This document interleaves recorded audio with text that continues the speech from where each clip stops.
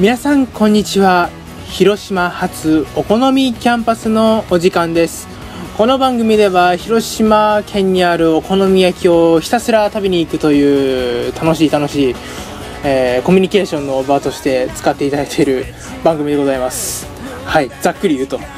はい本日パーソナリティを詰めさせていただきます。広島経済大学メディアビジネス学科3年小賀ちんこと岡野公平です。よろしくお願いいたします。はい先週まではですねお好み焼き丸というお店に行ってきてですねまあいろいろな話をしてきましたけどもまあですね話が長い。と思ったんじゃないでしょうか。まあ僕としてもようあんだけ喋ったなと思いますよ。なんでね、まあ、今週もちょっとお店変わりますけどもたくさん話をしてますのでぜひ最後まで聞いていただけたらなと思います。30分間お気苦しい点多々あるかと思います。えーと、現地でそのまま撮っていますのでちょっとあのあのなんていうんですかね換気扇の音がちょっと若干うるさかったりとかえーと思ったより十字音が大きすぎたりとかあのいろんな不具合あると思いますけどもなるべくあの皆さんに聞きやすいように頑張りますので、えー、30分間聞いていただけたらなと思います。よろしくお願いいたします。はいというわけで今週はですね、えー、皆さんも知ってるんじゃないかなと思うんですけども広島市安佐南区祇園5丁目、まあ、5の5にあります、えー、お好み焼きの高田というところに行ってきました。はい、えー、もうねそあのー、率直に言いますとね、あのー、とってもですねうーんさすがおばあちゃんって感じですね。はい。まあそうなった理由はですねあのー、ぜひあのー、撮ってきた取材の音源を聞いていただけたらなと思うんですがはい。あのー、多分ですね、あのー、広島経済大学の学生や職員さんだったらよくわかるとは思うんですけども、あの、イオンのね、ですね、あのー、祇園中学校側、広島経済大学側から出てすぐですからね、あのですね、広島経済大学坂降りていただいて、あの交差点をね、右に曲がってね、あのまっすぐ歩いていただけたらね、あのローソンがあるんですけどローソンの手前ぐらいにですねあのおたふくの上りがありますのでそこを右曲がっていただいてまあ、えー、ちょっと進むとお店ありますのでぜひね一定で行っていただきたいと思います。営業時間がですね11時から18時までとなっておりますので、まあ、お昼時に行くのはぴったりじゃないかなと思います。ね僕も初めてですねもう大学にどうですね大学に入ってから初めてですねお好み焼き屋さんこの高田屋に行きましたけどもとってもですねもうあのフレンドリーな方ですね。で本当に僕の半分悩みぐらいをですねあの相談しまして、まあ、それを見事に解決してくれるという、まあ、お店の話もしますよ。お好み焼きの美味しさっていうのもしますけどもなんかねとってもうん第二のお母さんみたいな感じになってますね。とってもあの相談の時代って本当これからも行きたいなと思ったお店です。是非ねこの番組聞いていただいてあのお店に行ってもらえたらなすごくねおばあちゃんも嬉しいと思いますので是非行ってもらえたらなと思います。えー、この番組では皆さんからメッセージをお待ちしております。はがきお手紙の場合は郵便番号731-0192広島市安佐南区祇園5丁目37-1広島経済大学 FM ハムスターまでファックスは082-871-1620メールは fm.hamster.live.jp です。皆さんからのメッセージよろしくお願いいたします。FM ハムスタープレゼンツお好みキャンパス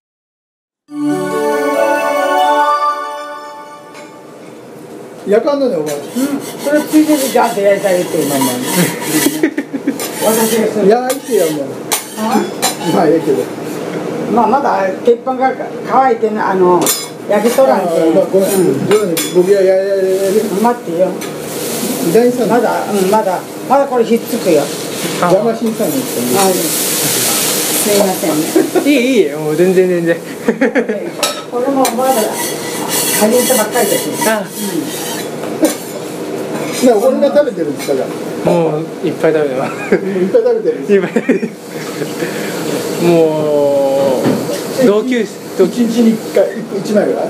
いや一日もう3日4日に一遍はもう多分。ああ一週二三日で。いいいい。まあ散らしちゃけんけどひっくり返したらいい。いぶ大丈夫これがあんたらと同じぐらいで始まってばっかりそう。何の話しようかよ。同じぐらいじゃないのか分からんけどいやあなたらも自分でししてみたりしとるよねやっぱり。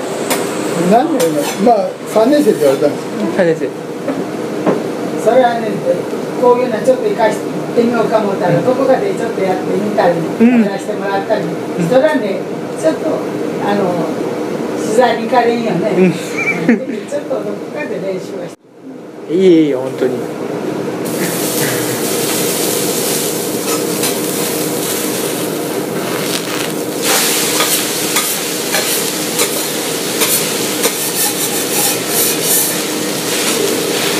じゃあここは来たのは初めて？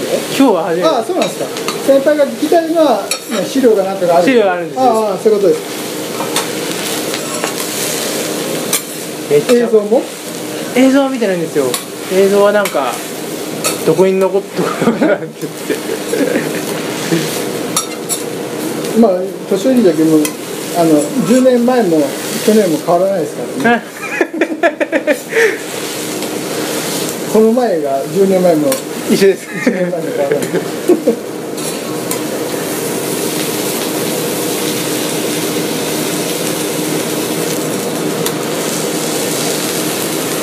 ちょっと今修行ってことですかね？修行はい。まあまあ修行するほどのもんでね あの調子が悪いってあ。のこの6月で会社辞めて。あ手伝ってるんですけどね、まあその前ももう2年ほどは土日は手伝ってたんで。ああ。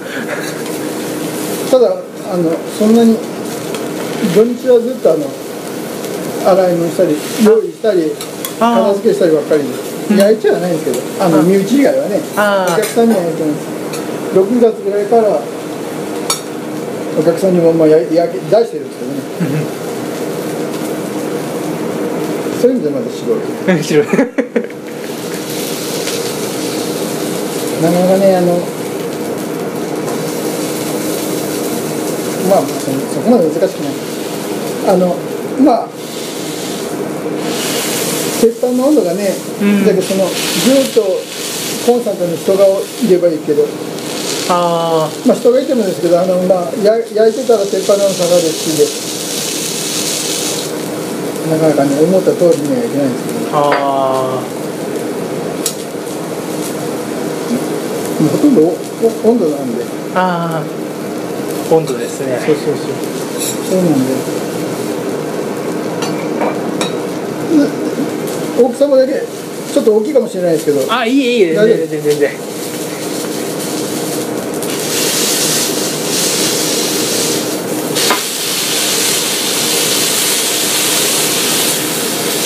でいや多分今こんなにコストコないですから、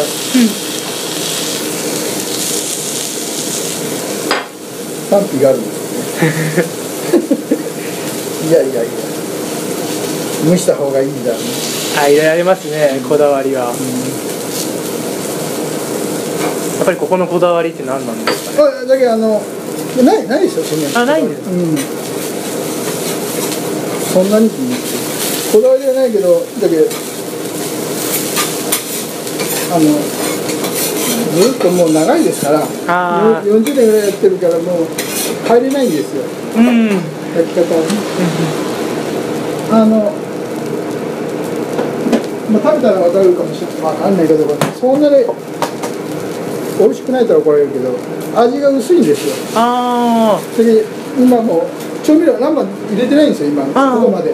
天かすだけなんで。で普通はラードとかあのだしとかを使ってますね。使う使うんですけどここのはあの油もんもだけどラードもあれも使ってないからあ味は シンプルなんですけどね。まあそそれでずっと来てるからお客さんが。で当。美味しいかと言われたらいやもっと味付けた方が美味しいんだと思うんですけど。たあだ量はこの方が食べれるんですよあああ確かに確かに。あのって思うんですけどねこれ僕もそこまでお好み好きじゃないからわかんないけど。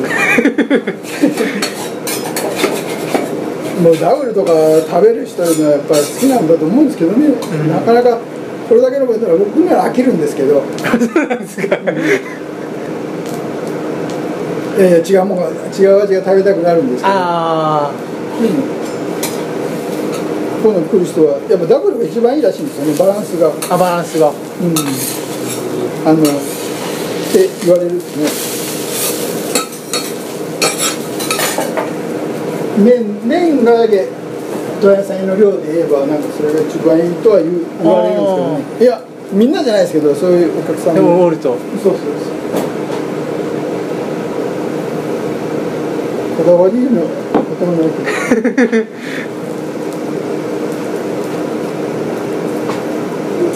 でおばあちゃんはすごいソースかけるんですけどあ僕はあんまりかけないんで。あかけない。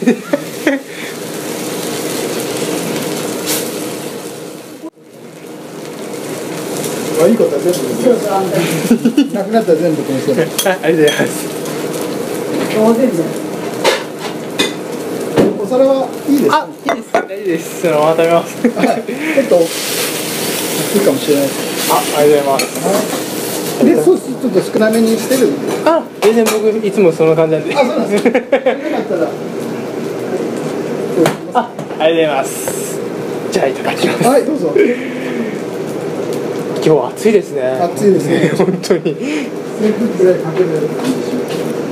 いいいいい熱かん。あいいいいそんな本当にあ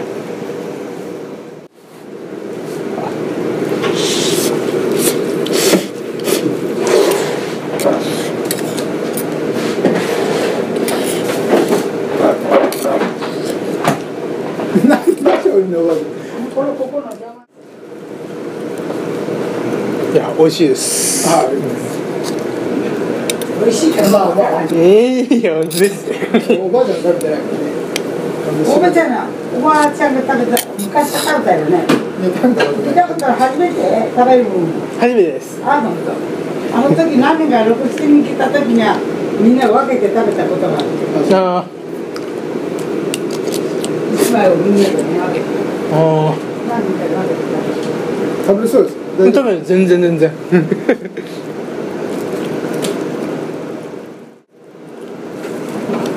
いつもあんな感じなんですか？あんな感じですよ。仲いいですね本当なんか良くないし。大変だですよまあ調子が悪いんでね。病院行ってるんで。あうん。焼いてる方がいいんだと思うんですけどね。動動いた方が。あうん。なかなかねまあ、やっぱりもうしんどそうな時まあ僕も辞めて手伝うかいうことになったんですけどうんまあでもお客が今夏だからねお客がいないから暇で暇であ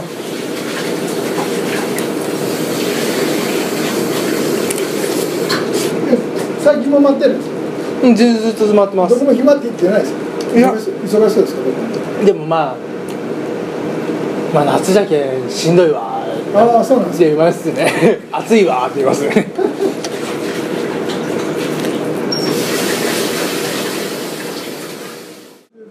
5%まあ99%言ってもいいぐらいいい感じですああまあ、40年ぐらいの多分543年やったんだと思うんですけどね。おお長いですね。うん。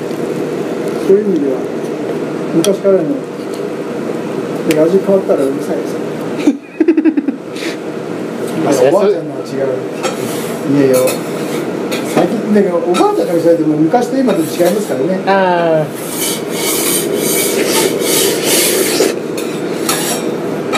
本人も記憶があやふやです。いや昔はもうちょっと抑えやったからね。昔はもうちょっと大きかったかああらあやふやなんです生地に加える水の量とかもあれですよね。大体あれはねあのー全部今今でもですけど全部あれなんですよ。あちゃんと。測らずにしてるんで。ああじゃあ。これで感じてやってるから、あれはそんなには変わらないのかもしれないですけど。うん。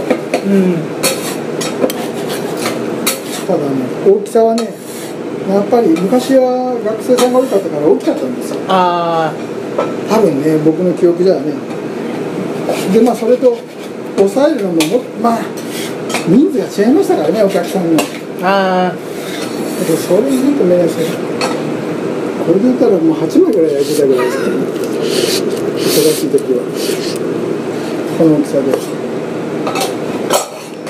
結構ギリギリですね。もうでももう戦争みたいな。食べるのもねそこも相当あこうあの詰めて詰めて食べてみまあした。ギリギリこうこんなですよねまあ今ないですけどね。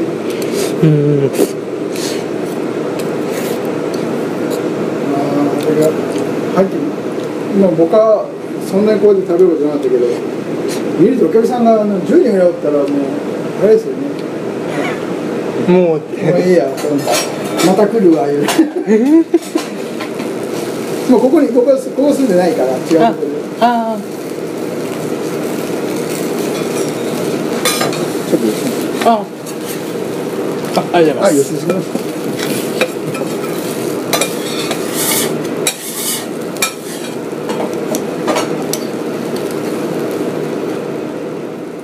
僕がなんかこの話を聞いてあい。やーなんかあのせっかくお好み焼きのそのは特別番組してるんで、はい。とりあえず僕が好きと思ったお店なんかおなんかなんていう気になるお店があったら行こうと思っては 今本当に今自転車で通ってるんですよい家から。どこか家家は観音です。観音からね。観音からちょっああそれは健康にはいいわ。うんいいわ。そうなんです。すごいいいこと。うん。一番ね勉強したりなんかするよりねその健康体を鍛えることがね脳も発達するしね、まあ毎日1時間弱ぐらいチャリンコこいでるんで。まあ暑いですけどそんなに激なんかすごい太りませんね。太りませんとか。もうねみんながね「おばちゃん暑いじゃろ」って言ってもねおばちゃんはまあちょっとこう弱いけんね。ああ。の暑さをね自然に感即に感じんのよ。じわーっと感じることだけね。みんなが思うほどおばちゃん大変じゃない。焼く間もね、ーで焼き終わったぐらいにちょっと暑くなったって感じですか？うんそうそうそうそう。熱い熱いの 中にちょっと皮バーッと洗ってねだから歯ももう歯それで終わりよ。ほいで今何年生？3年生です。3年生。はい。そうなんですよ。ほいであのあれする時それなんか作るあの作文じゃないけど何か作るわけ？そういう取材をしたり練習したりねあ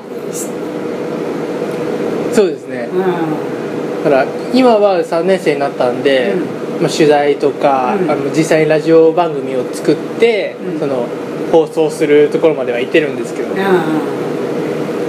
ん。なかなか僕も今リーダーしてて、1年生2年生に行ってこいっては言うんですよ。いろんなお店のところ行ってきていろんな人に話聞いてきんちゃいって大丈夫よって 言うんですけどなんか最近の子って僕も最近の子なんですけど、なんか話したがらないんですよね、いつもみんなこうやって携帯でやってる。そうそう携帯ばっかりね。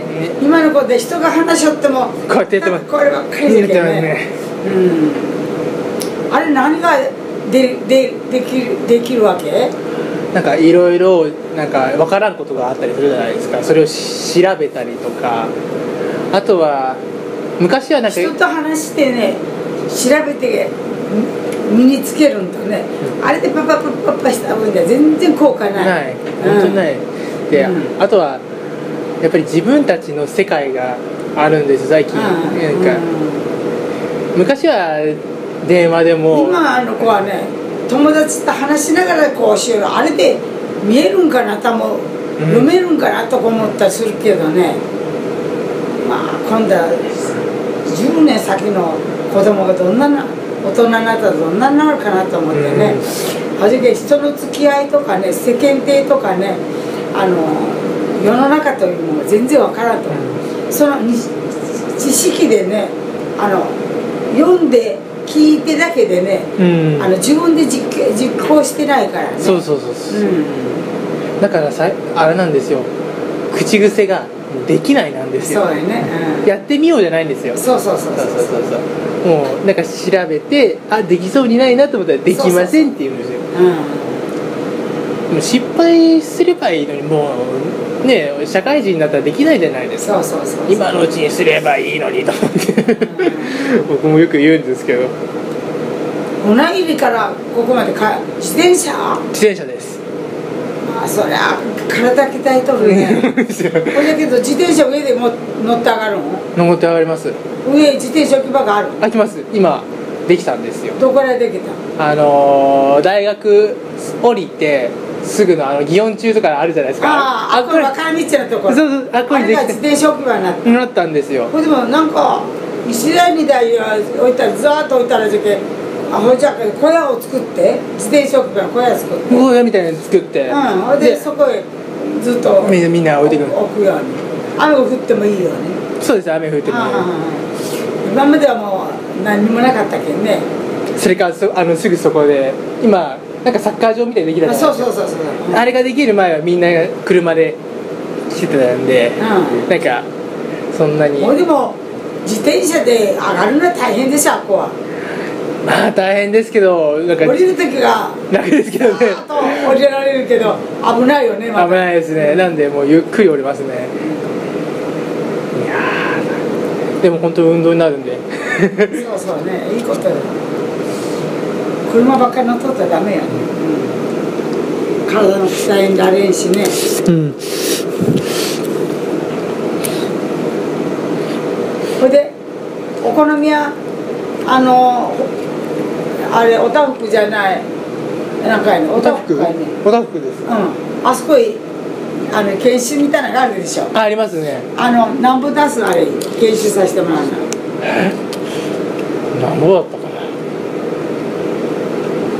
何回で何千円でしょう。結構かかりますねあれ、うん、で自分もお好み屋焼いてみようか思って行ったわけ。それともただ食べるだけで行ったわけ。いやなんかほんとこれ小さい頃なんですけどなんか子供会ってあるじゃないですか、あれでやってみようみたいなのって、うん。なんかちょっと半日ぐらいでちょっと、うん。いつだったかな小学生の時だったかな。まだから本当に覚えてないんですけど、ん。行ってこういろいろまず見学するじゃないですか。いろんな工場とか、でそそこからなんかお好み焼き教室みたいな感じでやって。なんでもうきでも火やなんか扱ったりするけんあれでしょ。誰か大人がで絶対大人。はい大人がいます。で大人がいて。だからほとんど、まあ、やるって言ってもや焼くぐらいですよね、うん。焼く焼くって言っても本当ひっくり返すぐらいですかね。小学校なんで。もうここまでできとって足ひっくり返すだけとか言って。ほんで今度社会人になるのは何をしようと思ってる？ああ僕は社会人になったらあの今教員を目指してて中学校の社会の先生をちょっとやってみようかなって めっちゃ勉強してます。先生になろうと思ったら相当勉強せんないといけない本当勉強しもう毎日 勉強ですね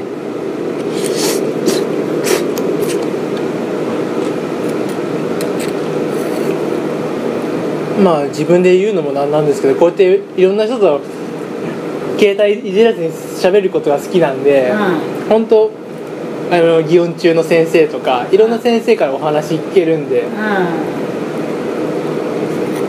まあなんか試験の対策とか、うん。なんかこうすればいいよかったよとかっていうのも聞けるし実際に教員になってからこういうことを気をつけた方がいいよっていう話も聞けるので、うん、僕僕。先生になろうと思ってるの一応。あそうですね。うん。もう3年生なんで。大大学はどこ行くの？予定は。大学？大あいや大学じゃない今度は。大学でそのそういう授業をしようよ。あそうです、ん。授業してて。この前も模擬授業。FM ハムスタープレゼンツ。お好みキャンパスはい、聞いていただきました。広島発お好みキャンパス。今週はですね、あの、まあ、石目大体ですね、あの、お好み焼きのね、特徴だったりとかね、あのー食べてる様子を入れるんですけどもね本当にこれぞ昭和のお好み焼きって感じでしたねとってもシンプルであのどんどんどんどん食べやすかったですねあの女女性の方でもねダブルいけると思いますよあの味濃くないしですあのーとてもねさっといけるあのお好み焼きだったなと思います。来週はですねおばあちゃんと2人で SNS について語ります。次回もお楽しみにということで 来週も聞いていただけたらなと思います。担当しましたのは広島経済大学メディアビジネス学科3年岡ちんこと岡野浩平でした。絶対1週間に1回お好み焼き食べてくださいね。さようなら